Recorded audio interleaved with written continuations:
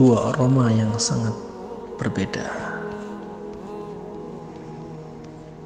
Di hari kiamat nanti akan tercium aroma yang mencolok perbedaannya.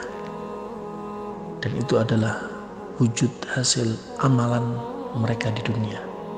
Yang pertama, aroma wangi dari mulut orang yang puasa ketika di dunia.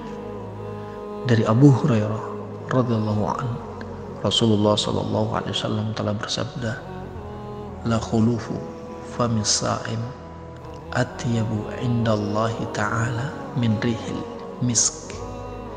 Sungguh bau mulut orang yang berpuasa lebih harum di sisi Allah daripada bau minyak misik kasturi hadis riwayat Bukhari dan Muslim yang kedua aroma yang sangat dibenci yaitu aroma wanita bezina di neraka.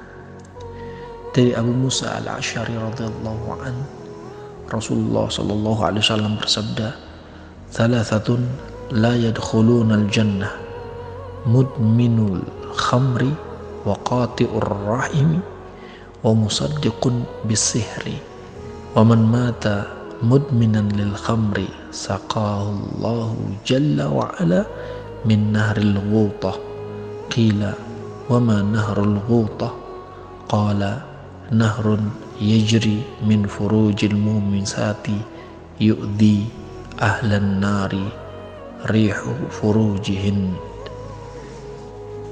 artinya tiga golongan yang tidak masuk surga. Orang yang kecanduan khamr khamr dinamakan khamr karena atau li'annahu yukhammiru al-aql karena dia menutup akal dan khamr di zaman Nabi identik dengan minuman adapun di zaman kita bisa berwujud minuman bisa narkotika dari pil suntik sabu-sabu, hisapan dan lain sebagainya. Maka semua ini menutup akal. Yang kedua, orang yang memutuskan silaturahim. Yang ketiga, orang yang membenarkan sihir. Barang siapa yang mati dalam keadaan dia kecanduan khamr, maka Allah akan memberi dia minuman air dari sungai Al-Ghutah.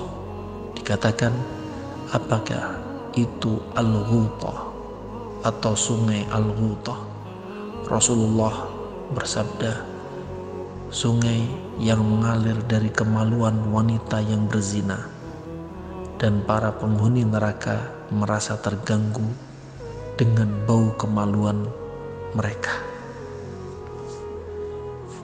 hadis riwayat Ibnu Hibban dengan sanad yang lemah dan menjadi hasan ghairi dari hadis Abu Sa'id Al-Khudri sebagai penopangnya.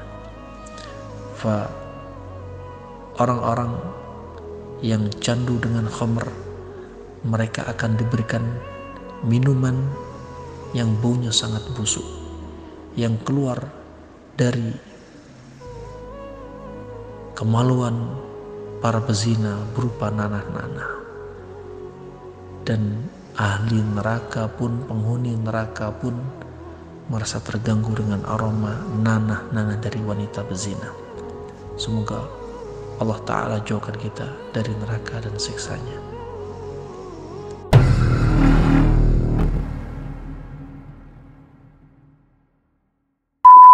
Al-Amwa menemani ibadahmu juga hijrahmu